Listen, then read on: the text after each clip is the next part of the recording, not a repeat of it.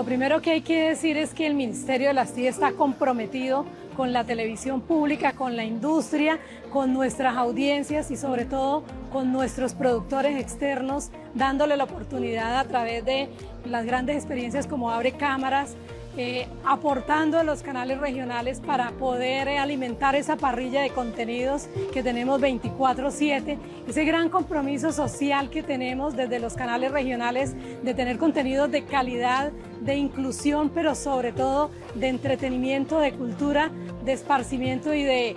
por supuesto, seguir escalonando para llevar la televisión pública a los lugares y a los niveles más altos, no solo a nivel nacional, sino a nivel internacional.